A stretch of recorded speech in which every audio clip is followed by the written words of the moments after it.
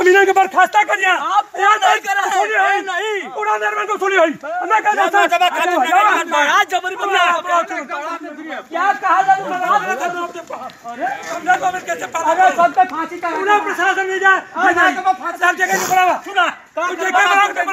ये लोग इसीलिए मैं कह रहा था अब यही होता एक्चुअली सदर तहसील चंदौली के कर्मचारी अमीन आदि।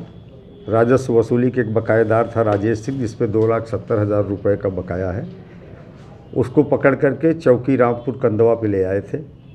इसके बाद उसको छुड़ाने के लिए राजेश सिंह का भतीजा अजय सिंह जो खुद करोड़ों का बकायेदार है, वो अपनी अपनी राइफल जो लाइसेंसी है, उसको लेके अपने साथियों के साथ शायद चौकी पे आया और उसने कर्मचारियों के साथ दुर्व्यवहार किया। सूचना में पुलिस ने तत्काल दोनों को गिरफ़्तार कर लिया, मुकदमा पंजीकृत कराया और इन्हें जेल भेजा जा रहा है और एक वीडियो जो निकला है, उसमें एक दो लोग और साथ में दिख रहे हैं, जिनके बारे में हम कार्रवाई के लिए थाना प्रभारी को निर्देशित कर दिए हैं कि जो भी लोग इस कार्य में रहे हैं, वो सब इसमें सहअभियुक्त की श्रेणी में आएँगे और शस्त्र लाइसेंस निरस्तीकरण के लिए रिपोर्ट जो है भेजी जा रही है।